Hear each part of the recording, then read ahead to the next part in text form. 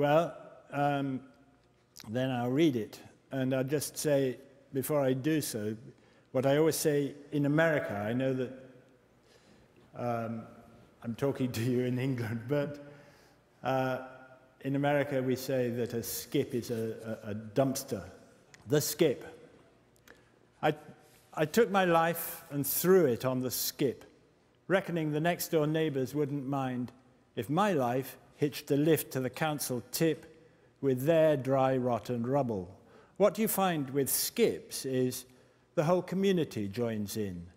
Old mattresses appear, doors kind of drift along with all that won't fit in the bin, and stuff the binman can't be fished to shift.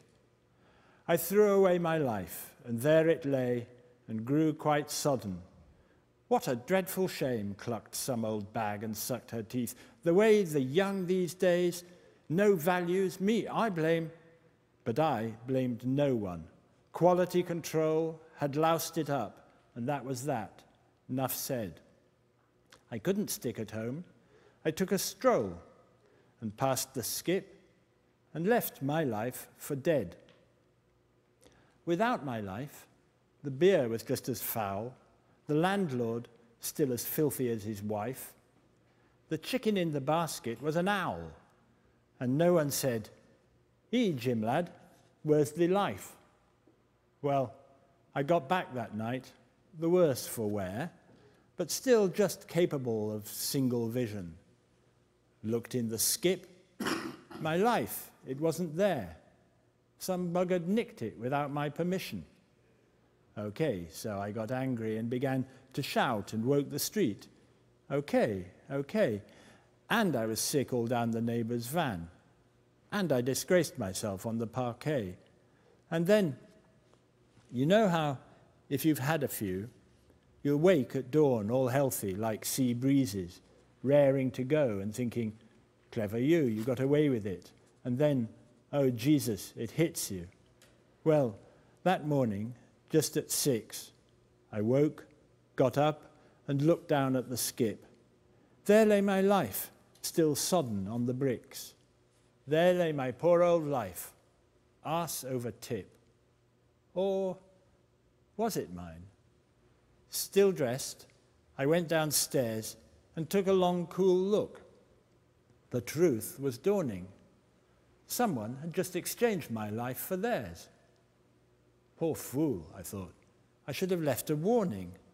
Some bastard saw my life and thought it nicer than what he'd had. Yet what he'd had seemed fine. He never caught his fingers in the slicer the way I'd managed with that life of mine. His life lay glistening in the rain, neglected, but still a decent and authentic life. Some people I can think of, I reflected, would take that thing as soon as you'd say knife. It seemed a shame to miss a chance like that. I brought the life in, dried it by the stove. It looked so fetching, stretched out on the mat. I tried it on. It fitted, like a glove. And now, when some local bat drops off the twig, and new folk take the house and pull up floors and knock down walls and hire some kind of big container, say a skip, for their old doors. I'll watch it like a hawk, and every day I'll make at least, oh, half a dozen trips.